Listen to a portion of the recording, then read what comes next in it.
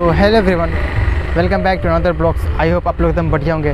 तो अभी हमारे गाँव से मतलब दो किलोमीटर दूर मकेर में नवरात्रि का मेला लगा हुआ है। तो वहीं पे हम लोग जा रहे हैं नवरात्रि का मेला घूमने।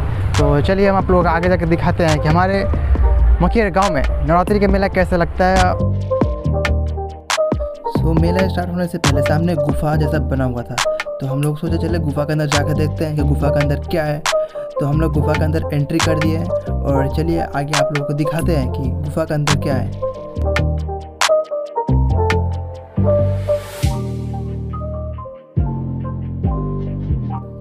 तो फाइनली गुफा यहाँ पे ख़त्म हो जाता है और सामने हम लोग, हम लोगों को देखने को मिलता है एक प्यारी सी मंदिर। सो ये मंदिर का रास्ता था जहाँ पे मूर्तियाँ रखी हुई थी। अंदर आने के लिए गुफा बनाया गया था। तो चलिए अब हम चलते हैं मेला की तरफ़। तो यहाँ से मेला स्टार्ट होता है, हमारे गाँव का। तो चलिए मेला के अंदर जाते हैं।